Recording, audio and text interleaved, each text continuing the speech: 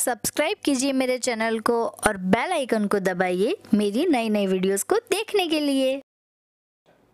Hello friends welcome back to my channel आज मैं आपके साथ एक न्यू ट्यूटोरियल शेयर करने वाली हूँ और वो ट्यूटोरियल मैं बना रही हूँ रक्षाबंधन पे सभी बहनों के लिए। तो इसके लिए मैं आपको दो तीन ट्यूटोरियल्स अलग अलग वीडियोज़ में दिखाती रहूँगी। आज मैं आपके साथ पहला ट्यूटोरियल शेयर करने वाली हूँ।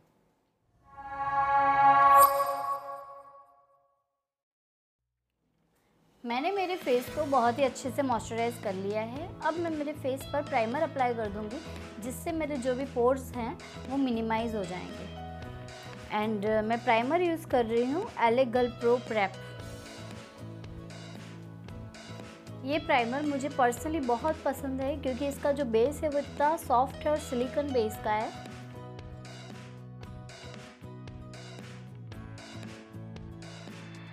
एंड अब मैं यहाँ पर बीबी क्रीम यूज़ कर रही हूँ forever fifty two BB cream क्योंकि मुझे जो कवरेज है वो लाइट चाहिए, मुझे फुल कवरेज नहीं चाहिए सो मैं यहाँ पर बीबी क्रीम यूज़ कर रही हूँ।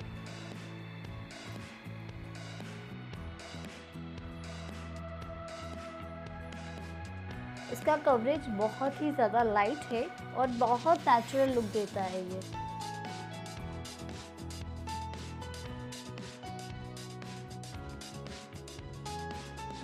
एंड अब मैं मेरे फेस को डिफाइन करने के लिए क्रायलॉन सुप्रा यूज़ कर रही हूँ। इससे ही मैं मेरे फेस की हाइलाइटिंग करूँगी और कॉन्टोरिंग करूँगी।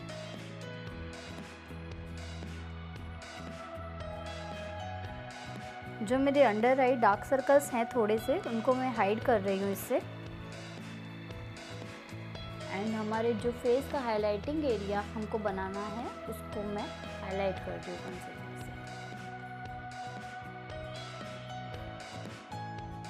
एंड अब मैं मेरे फेस की कंटोरिंग कर दूँगी। फेस की कंटोरिंग से हमारे फेस का जो स्ट्रक्चर है ना, वो बहुत ही शार्प हो जाता है बिकॉज़ हमारे फेस पर हम जब मेकअप करते हैं ना, तब हमारा फेस बहुत ही ज़्यादा भरा भरा दिखता है बड़ा बड़ा सा दिखता है क्योंकि फाउंडेशन हमारे पूरे फेस के कलर को इवन कर देता है। तो इससे हमारा फेस बहुत ही ज़्यादा बड़ा लगता है तो हमको कंट्रोलिंग करनी बहुत ज़रूरी हो जाती है। नहीं तो हमारा मेकअप बिल्कुल भी अच्छा नहीं लगता है। फेस बड़ा बड़ा ही दिखेगा। उसमें आपको जो लुक चाहिए वो आप नहीं पा पाओगे।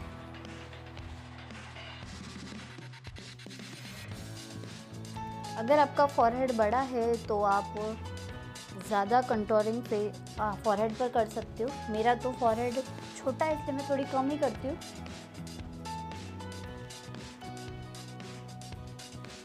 एंड अब मैं, मेरे फेस का जो भी हाइलाइटिंग एरिया है, जहाँ पर मैंने कंसीलर अप्लाई किया है और कंसीलर मैंने एक शेड लाइट यूज़ किया है, जिससे मेरी जो फेस का मुझे हाईलाइट एरिया दिखाना है, वो उभर के आए अच्छे से।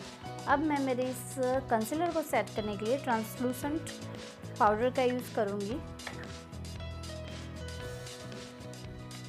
क्योंकि जब हम स्माइल वगैरह करते हैं और हमारा जो कंसीलर है वो जहाँ पे हमारे फेस के क्रैक्स बनते हैं, वहाँ पर इकट्ठा हो जाता है, जो कि बहुत ही कैकी लुक देता है।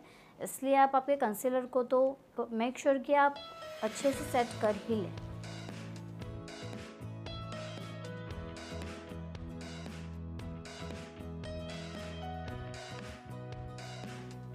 थोड़ा सा लूज़ पाउडर मैं मेरी लीड्स पर भी अप्लाई कर लूँगी, जिससे कंसीलर के क्रैक्स ना बने और मेरा आई मेकअप सेट रहे।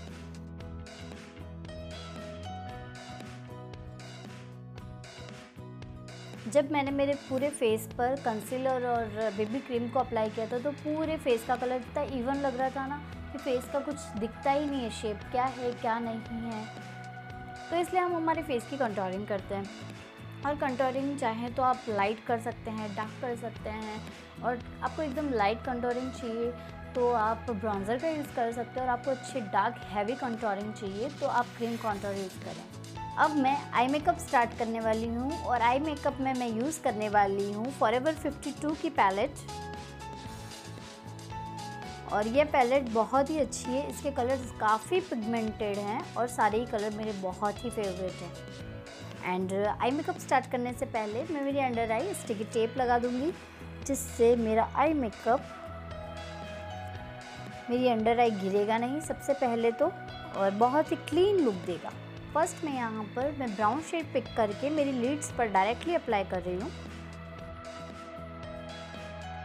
एंड पिंक कलर लेकर मैं मेरी जो क्रीज लाइन पे को मैंने डीप किया है, उसके आउटर पार्ट में अप्लाई कर रही हूँ।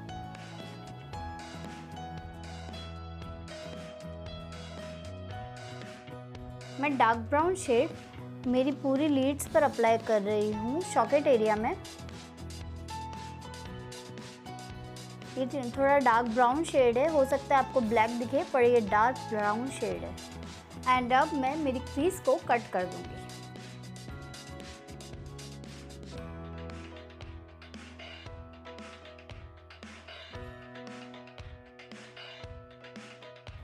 मैं हाफ़ क्रीज कट कर रही हूँ।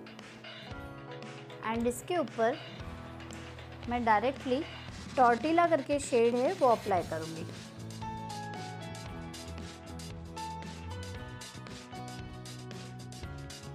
एंड अब मैं थोड़ा सा और डार्क ब्राउन शेड पिक करूँगी और इन दोनों कलर को साथ में अच्छे से ब्लेंड कर दूँगी।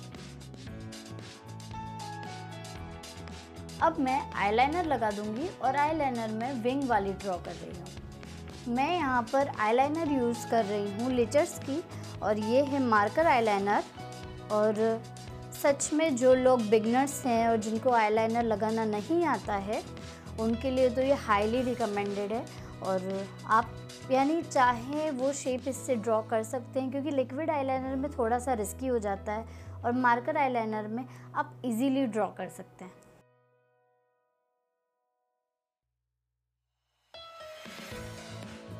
ये आईलाइनर मैं थोड़ी सी आगे से भी विंग वाली ड्रॉ करने वाली हूँ और पीछे से भी। एंड आईलाइनर मैंने लगा ली है और अब मैं स्टिकी टेप को निकालूँगी और आप देखेंगे कि आईलाइनर का लुक और आई शेडो का लुक कितना ही क्लीन आता है।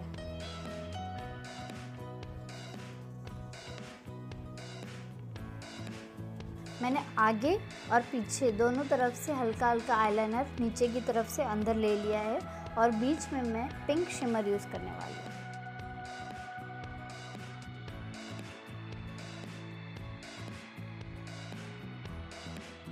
एंड अब मैं मेरी वाटर लाइन पर काजल लगा दूँगी।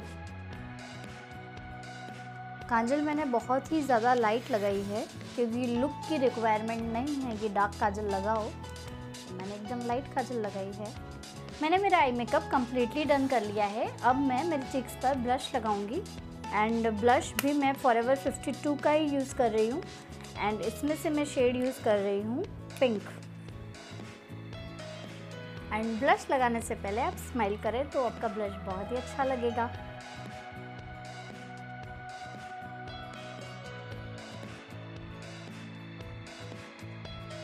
एंड अब मैं मेरे फेस को हाईलाइट कर दूँगी और हाईलाइटर के लिए मैं यूज़ कर रही हूँ आइकॉनिक लंदन से एल्यूमिनेटर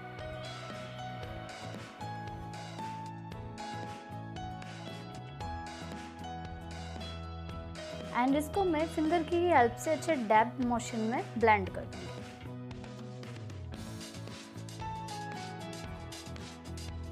मेरी ब्राउ बोन को भी मैं हाईलाइट कर दूँगी इससे ही, मेरी फिंगर की हेल्प फिंगर की हेल्प से। एंड इनर कॉर्नर को भी मैं फिंगर की हेल्प से ही हाईलाइट कर दूँगी।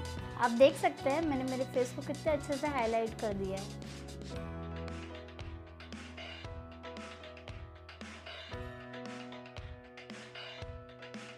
एंड अब मैं मेरी आई को कर्ल कर लूँगी, जिससे हमारी आई बहुत ही अच्छी वॉल्यूमनाइज दिखेंगी। और हाँ आप मुझे बताना कि आपको मेरा ये आई मेकअप कैसा लगा? कमेंट बॉक्स में दिखाओ, या फिर आपको वीडियो अच्छी लगे तो लाइक करो। आप वीडियो को लाइक नहीं करते हो तो मुझे लगता है कि आपको मेरी वीडियो अच्छी नहीं लगी है। अब मैं मस्करा लगा दूँगी। एंड मस्करा मैं यूज़ कर रही हूँ बोर्जॉइस का।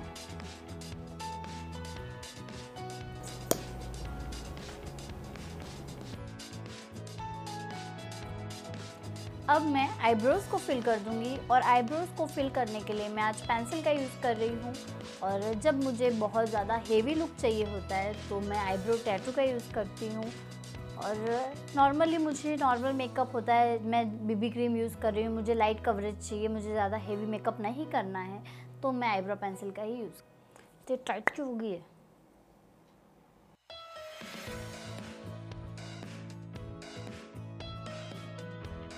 एंड अब मैं लिपस्टिक लगा दूँगी और लिपस्टिक यूज़ कर रही हूँ मैं हुडा ब्यूटी की।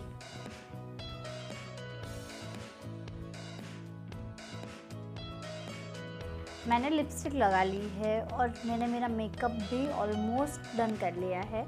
और अब मैं इस, इस पूरे मेकअप को सेट करने के लिए सेटिंग स्प्रे का यूज़ करूँगी। और सेटिंग स्प्रे में यूज़ कर रही हूँ रेवोल्यूशन प्रो का। एंड इसको थोड़ा सा शेक करेंगे और डायरेक्ट फेस पर लगा देंगे। और आपको थोड़ा लॉन्ग स्टे मेकअप चाहिए तो आप, है ना ब्यूटी ब्लेंडर से इसको डैप भी कर सकते हैं ऐसे ऐसे करके। और कभी कभी क्या होता है ना कि हम जो सेटिंग स्प्रे लगाते हैं फेस पे स्प्रे करते हैं तो हम शेक नहीं करते तो इसके वाइट स्पॉट्स बन जाते हैं फेस पर। तो आप ध्यान रखिए कि आपका सेटिंग स्प्रे आप पहले शेक करें और फिर अपने फेस पर स्प्रे करें। ये है हमारा फाइनल मेकअप अब मैं आपको दिखाऊँगी मेरा फाइनल लुक